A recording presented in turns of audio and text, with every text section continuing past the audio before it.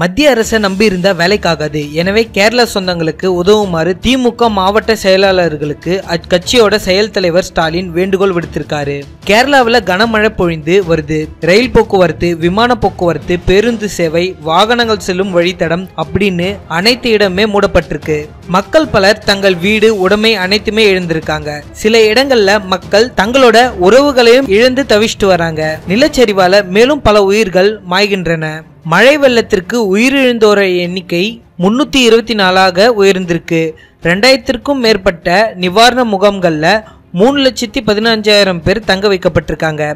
நாட்டோட பல்வேறு பகுதியிலிருந்து கேரள மக்களுக்கு நிதியுதவி வழங்கப்பட்டு வருது. இந்த நிலையில இது குறித்து பேசிய திமுக செயல் தலைவர் ஸ்டாலின் கேரள மக்கள் தவிச்சிட்டு வர்றது ரொம்பவே வருத்தம் அளிக்குது. மத்திய அரசு அறிவித்த உதவிகள் இன்னும் கேரள மக்களை போய் சேரல.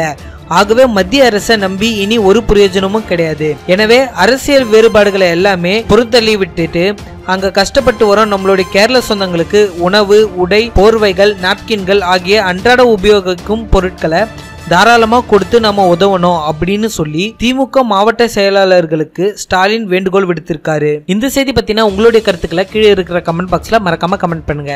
மேலும் இது போன்ற பல சுவாரஸ்யமான தகவல்களை தெரிந்து கொள்ள எங்களோட சேனலை மறக்காம சப்ஸ்கிரைப் பண்ணுங்க. நன்றி.